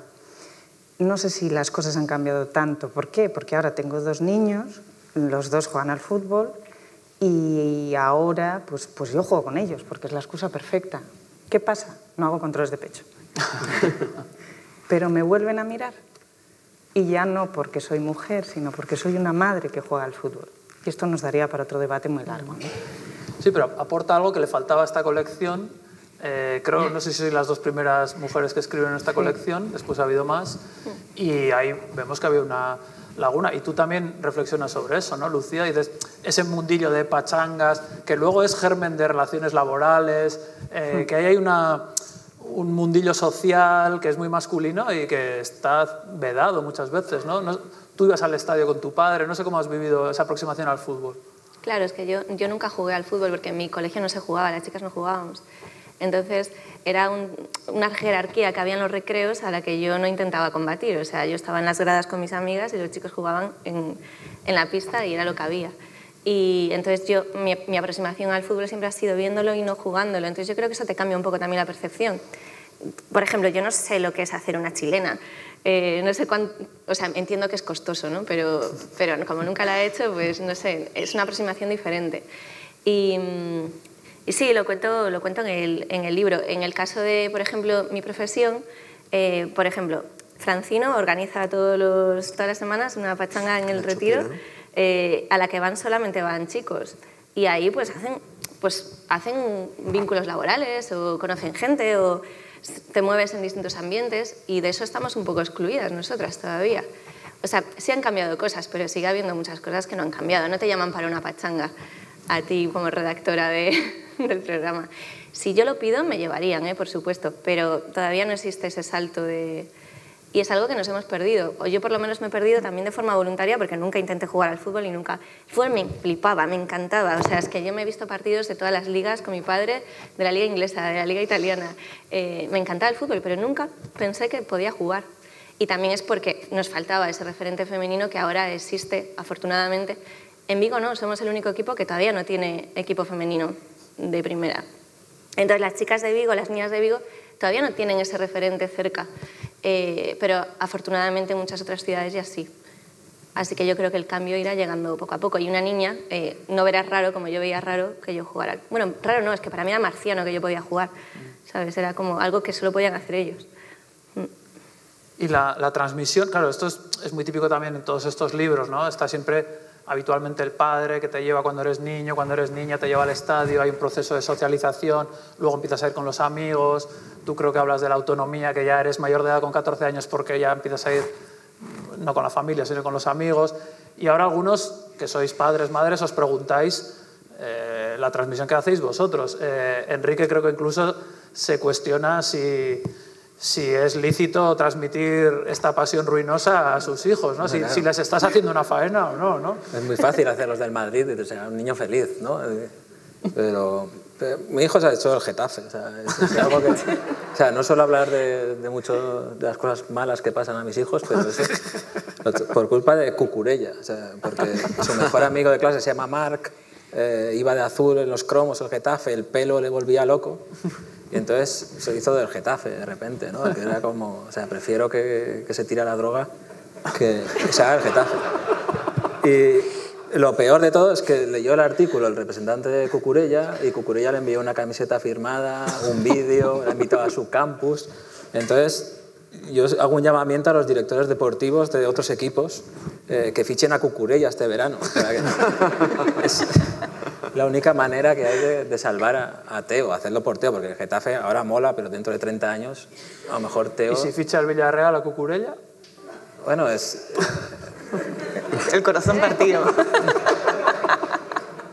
¿Te gusta? Yo venía aquí en son de paz. Y me, estás, me está sacando el Villarreal, cuarta división, el Juventud Barrio del Cristo, que lo había olvidado ya. Y no, y no hemos hablado de la película que han dado antes, que daba pie a algún equívoco, lo de Fiebre en las gradas, que, que pensabas sí, que era otra cosa. Fiebre en las, yo pensaba que iban a poner el, el Atalanta-Valencia del coronavirus, que era fiebre en las gradas. Fue el, es una de las cosas que ya vaticinó Horby, porque realmente está todo en Horby, ¿no? El, eh, los que escribimos de fútbol tenemos el problema de cualquier cosa que se nos ocurre, alguien nos dice, eso lo escribió Nick Horby antes, ¿no? o sea, y en los hooligans se ve mucho, o sea, las supersticiones de los aficionados, lo de vincular tu vida, episodios de tu vida a, a, cosas de tu equipo, ¿no? ¿Te acuerdas de que tenías 14 años aquella vez porque tu equipo perdió contra el Logroñés un día, ¿no? Eh, eh, todo eso lo contó Horby antes. O te haces de, hay una cosa en infrafútbol que a la gente le gustaba mucho y yo estaba muy orgulloso ¿no? de que te, haces de un equipo como te enamoras de una persona sin pensarlo mucho, eh, sin pensar en las consecuencias, sin pensar en el sufrimiento que ese amor te puede causar. Y yo estaba muy contento y un día me dijo, eso lo ha escrito Horby antes, yo el puto Horby lo ha escrito. O sea, cuando me quede calvo alguien dirá, Horby ya se quedó calvo a los 90.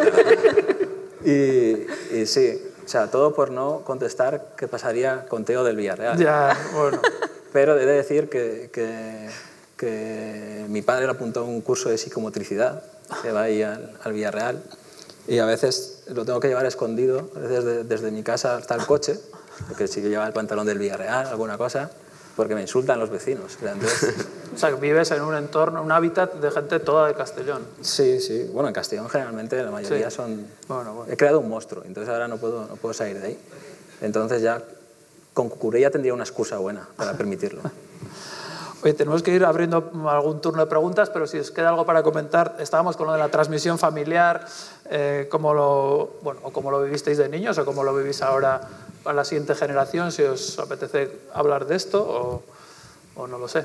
Algunos sois padres, madres. eh, Yo he tenido la suerte de que mis suegros y mi padre llevan a los niños a- al sardinero. Es decir, eh, guardias de periodista fin de semana, pum, van ellos, van ellos, van ellos. Pero sí que es cierto que, que les afecta mucho, bueno, los que tengáis hijos os pasará que el que gana, eh, pues quiero de este equipo, luego quiero de este, luego quiero tal. Y mm, para mí la esperanza está en que llega el verano, hay estos campus de fútbol y tal, y veo que en la escuela del Racing cada año se apuntan más niños. Entonces da igual que les lleves o no al campo, que hay ese vínculo por ahí. Me gusta ver cómo se llenan todas las plazas de todas las categorías porque ahí hay, ahí hay una cantera. Sigue, sigue siendo verde y blanca Santander. No temes que sufran como teme Enrique que pueden sufrir sus hijos. Tienen que acostumbrarse a quedarse quieto mientras, Mientras todo arde. Muy bien. ¿Alguna cosita? Yo, yo, yo quiero... ¿Qué pasó con Celestino al final, con la mascota? O sea, La estoy mascota. pensando al final era del narco, ¿no era del narco? Pues nunca se supo. ¿Era ¿eh? tu padre, Celestino? Eh, es una leyenda urbana, yo creo. Eh, Pero lo que pasa es que el reviste de épica eh, al Celta, con lo cual la seguimos conservando. Hombre, es que tenéis, también plantabais ajos, ¿no? Me parece. Sí, sí. Bueno, ajo- Bueno, ajos. ajos. Los plantaba Celestino. hasta, que cayó, hasta que cayó en la red. Era divertido ser del Celta, sí. ¿Cómo era ese celestino? El- el- Pues era un bicho horrible, era, eh, era una especie de cabezón con la nariz gigante y una camiseta del Celta. O sea, Habría que hablar algún día de por qué las figuras de los equipos son así. Ay, tenía rastas, es verdad. Joder. Todo cuadra.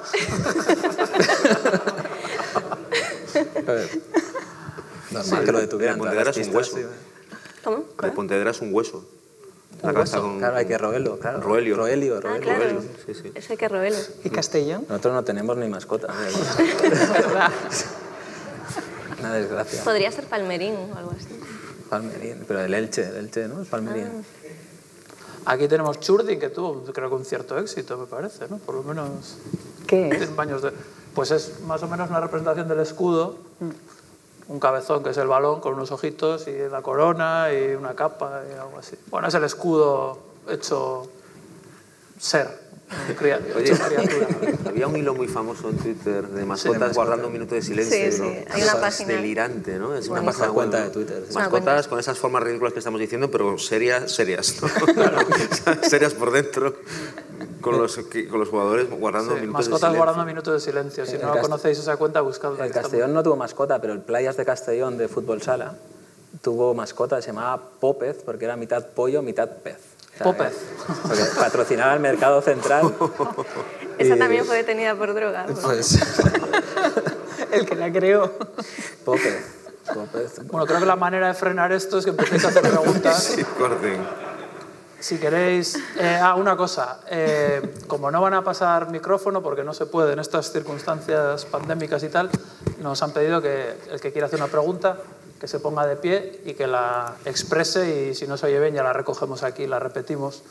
Entonces aprovechad que tenéis aquí a estos cuatro jugones. Sí. Esto, una pregunta porque no una modesta. ¿Por qué vale más caro el fútbol en España que Alemania? Cuando en Alemania tienen más nivel de vida. Esto es, no puede mucha gente. Antes, en el fútbol, te daba para, pagabas el fútbol y te daba para ir a bailar o para un bocadillo. Ahora, Pues yo no tengo ni idea. eso, eso, y bueno, es que no se puede. Es caro el fútbol. Polo es carísimo en España. Sí, pero En Alemania más barato y con más nivel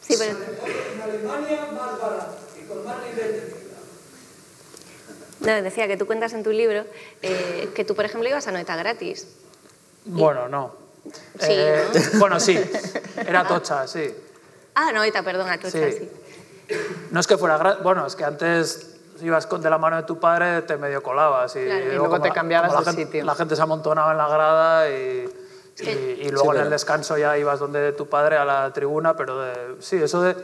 Eso cómo cambian las cosas, ¿no? No, En Alemania no sé cómo será, pero esto de yo recuerdo con 9 10 años estar solo una hora antes de pie esperando a que empezara el partido.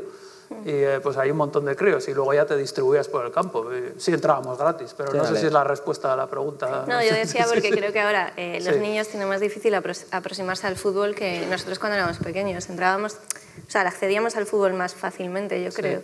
Ahora es bastante más caro. Eh, ahora es un gasto para los padres. Sí, no hay fútbol casi en abierto eh, también. O sea, hay una conversión de hincha-cliente evidente, ¿no? En Alemania eh, hay gradas de pie incluso, o sea, hay un lobby aficionado más grande, ¿no? También aquí todo el mundo tiene muy claro que la liga representa a los clubes, que la federación, pues eh, a cada uno, la AFE a los jugadores. Pero bueno, hay una asociación de la FASFE, es, digamos el sindicato de aficionados, ¿qué pasa? Que en otros países tiene más peso. Y todas estas eh, reivindicaciones un poco, pues, eh, tanto que se habla ¿no? de que a los chavales no les interesa el fútbol o que no aguantan la atención, también parte es esa, ¿no? que o, o tu padre te paga un abono, te paga una entrada, Sí. eh, o paga por verlo, pues es más difícil ¿no? tener acceso a ello. ¿Alguna pregunta más? ¿O es porque se traen más extranjeros? A esa gente hay que pagarle mucho. Y cuando terminan, se llevan el dinero a su país. Que no lo invierten aquí. Si no se puede jugar con extranjeros, pues no se puede. No, no. Pero en, Alemania, en Alemania también hay extranjeros, hombre, no será eso. Si no se puede, no se puede. Se pierde, no se puede entrar en Europa. Pues ¿qué le vamos a hacer? Sí, A jugar con el Castellón, a jugar con el Castellón. efectivamente. ¿Hay extranjeros en el Castellón? sí. Sí. ¿Francés cuenta como extranjero? Sí. Pues un francés Depende, teníamos. sí. ¿Alguna otra preocupación? Sí, allí. Hombre, Juanpa. Hombre. ¿has- ¿De verdad has venido de Ciudad Real? ¿Estás contento? Vengo de parte de Alfredo Matilla, que también sido, por si acaso, el alba. ¿En qué jugador os reencarnaríais? Todos contáis historias de jugadores en vuestros libros. ¿En qué jugador os Yo es que el bigote de Preciado, no sé si me veo con ello, pero en él. Yo, yo, yo tengo muy claro, yo me reencarnaría, o sea, me gustaría ser el tío que en las barreras se pone detrás, tumbado, ahí, o sea, por si saltan los compañeros. Es mi sueño ahora mismo.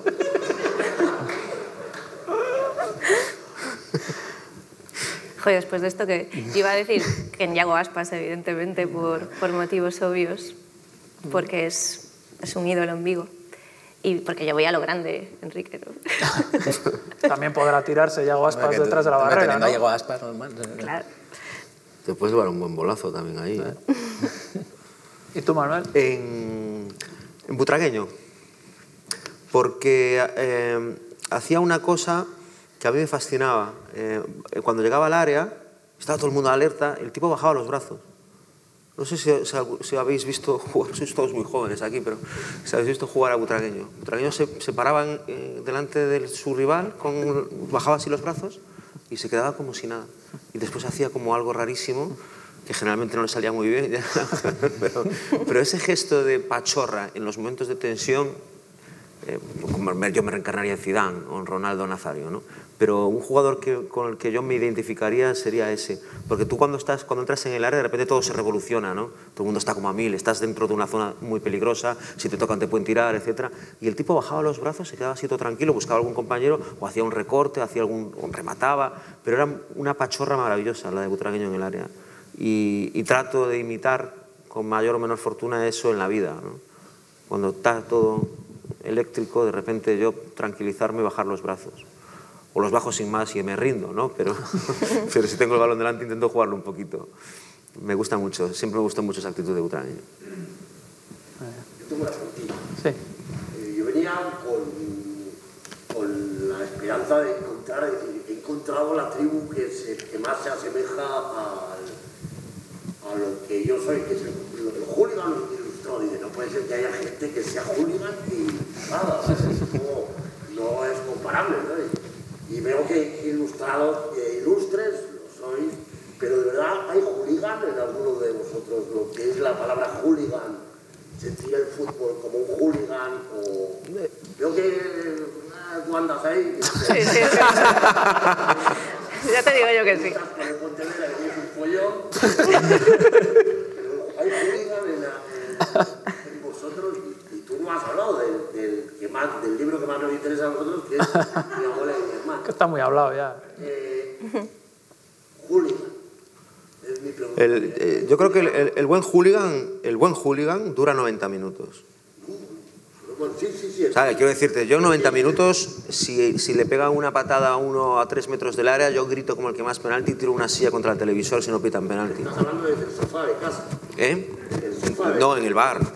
En, en el estadio del hincha, el que es el bar, ¿no? O sea, y, pero eh, sí, durante 90 minutos se suspende un poco la razón y te comportas, tienes comportamientos, puedes tener comportamientos de cafre, no cafre agresivo, pero me refiero, me distorsiona la realidad, grito cosas que realmente cuando luego puedo ver la repetición digo, esto no era penalti ni de coña, pero yo quiero ver penalti es penalti, es decir, me comporto como, pero luego acaba el partido, tío, ¿y qué voy a hacer?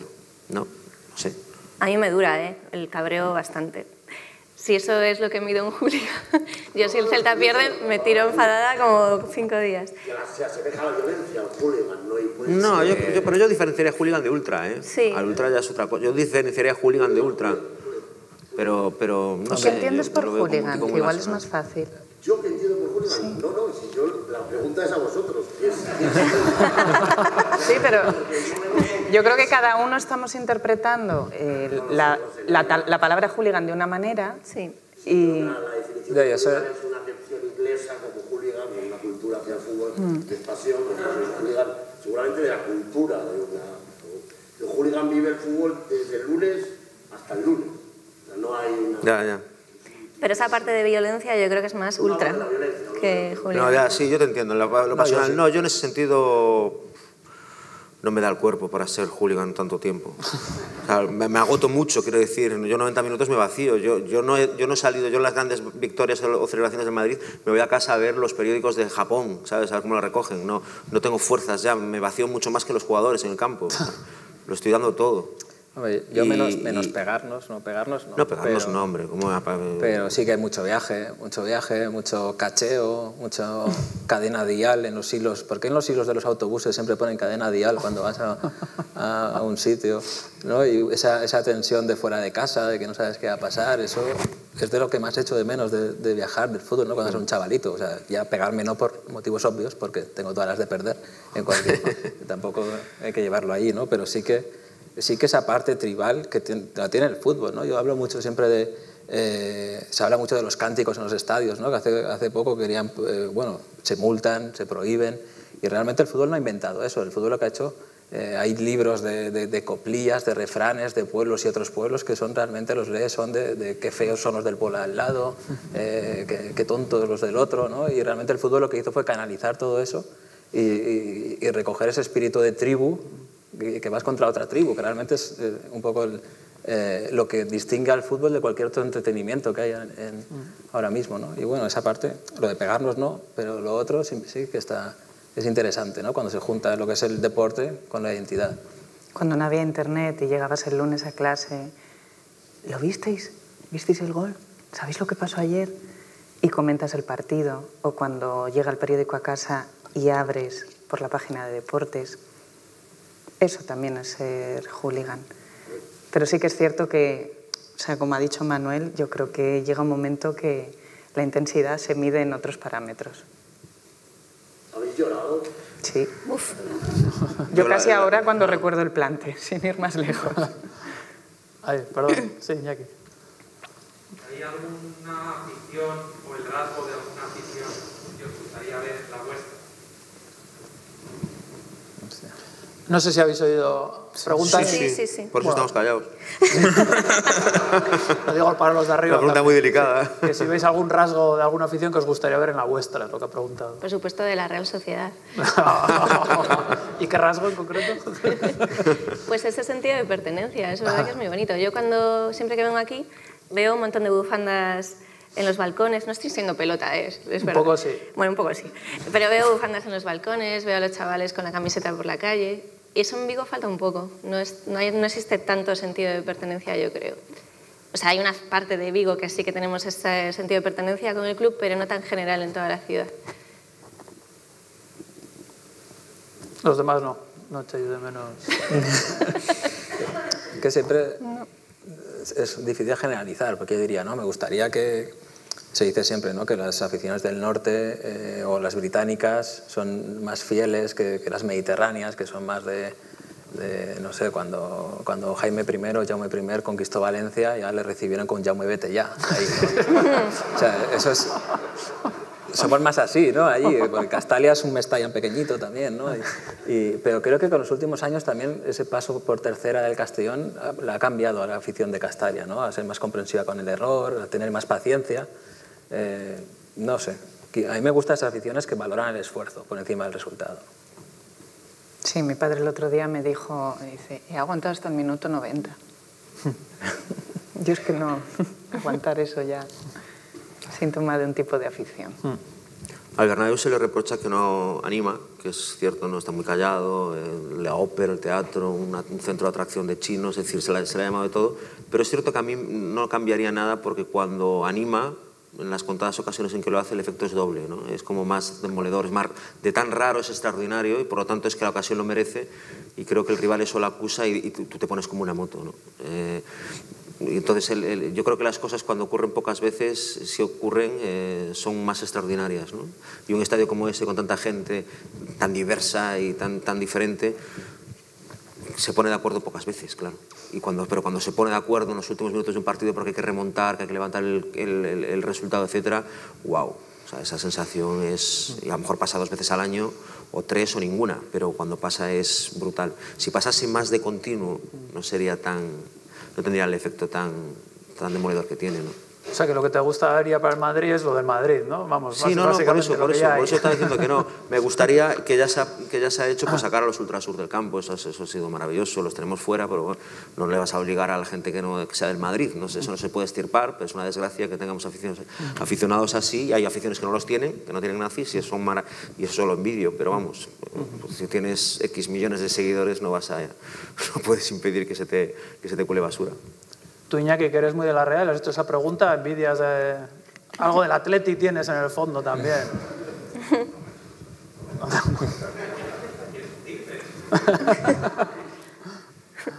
Había algo por ahí, sí.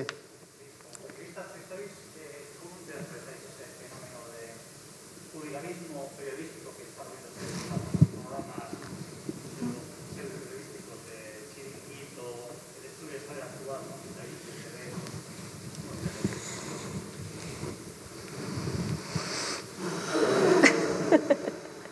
ve No, eh, rápido yo, y, no, no los veo, no, no por esnovismo, no los veo de verdad. Eh, sí veo resúmenes de vez en cuando en, el, en Twitter del chiringuito, que yo creo que va de lo que va, no engaña a nadie, ¿no? El show que están ofreciendo es como ya una cosa teatralizada, con guiones, etcétera, creo, quiero pensar. Y no lo tengo tampoco como un canon de periodismo deportivo. Eh, sí leo periodismo deportivo y escucho periodismo deportivo en sitios en los que... Pero la televisión a veces, como te dejes llevar por, por los índices de audiencia y estés más preocupado de eso que de la calidad, normalmente acabas en la caricatura, que es, supongo que es en lo que están acabando muchos programas. Yo es que lo veo más una forma de entretenimiento que de periodismo, entonces creo que la gente que lo consume lo consume... No, creo que le dé mucha credibilidad a las informaciones que hay en, algunos de esos programas. O sea, lo consume más como algo que te entretiene que como algo que te va a dar una exclusiva o que, de lo que tienes que fiarte. Entonces, yo ahí no sé si... tam- o sea, la culpa obviamente es a veces de- del que hace el producto, pero también hay parte de culpa del, que lo consume, ¿no? Es- se retroalimenta una cosa con la otra, no sé. A mí me llevaron una vez al, al Rondo. El Rondo es como el, el original, ¿no? En televisión española en Cataluña, porque a alguien le había gustado Barraca y Tangana, el primer recopilatorio de columnas. Y llegué allí y tenía grandes expectativas. Llegué a los camerinos, al camerino y pensaba que había ahí droga, o sea, yo qué sé. Y nada, había kikos y, y pistachos. O sea, fue una decepción. Y luego es un teatro espectacular. Antes hablan entre ellos, pues yo voy a decir no sé qué, yo voy a decir no sé cuántos. Y yo estaba ahí. O sea, me preguntaban por Coutinho, dije que era el hijo de Fernando Couto. Y ya me quedé ahí media hora hasta... ¿no? Y hay público, va gente de público. O sea, es fascinante ese, ese mundo. Pero claro, lo ves como, como un teatrillo que es realmente, ¿no? Yo creo que la información deportiva, eh, os acordáis de- del día después, el principio de todo, lo divertido que era.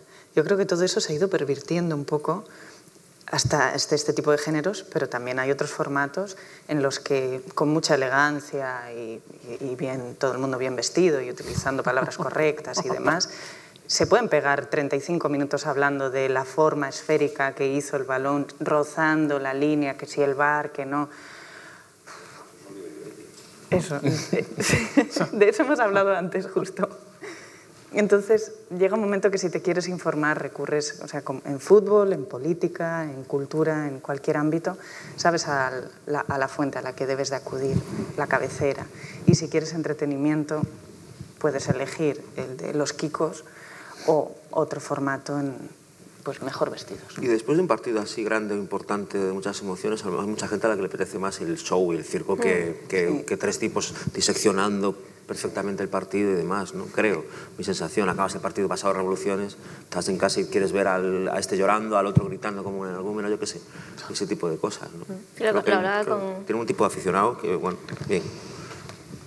El, hay- lo que acabas de decir el día después en Movistar siguen haciendo documentales maravillosos sobre fútbol, es. ¿no? Pep Guardiola, Xavi el otro día, o sea, hay, hay trabajos de calidad, periodísticos puro y duro, y luego hay eso, un- una cosa más entretenimiento televisivo en la que cada uno es de un equipo y cada uno tiene que significar una movida según cómo haya ido el resultado.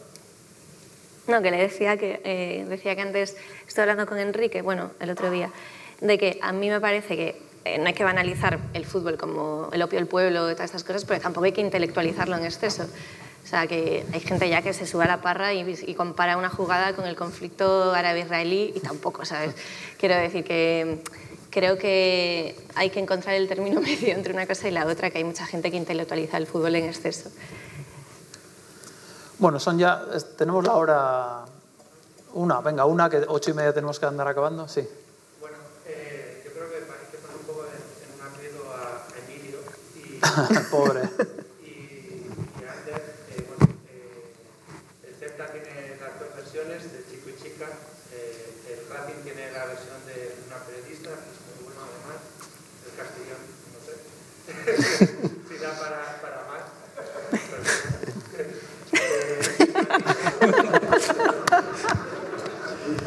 Es si a mí no me importa el Castellón, y a ti todavía menos, o sea, no pasa nada.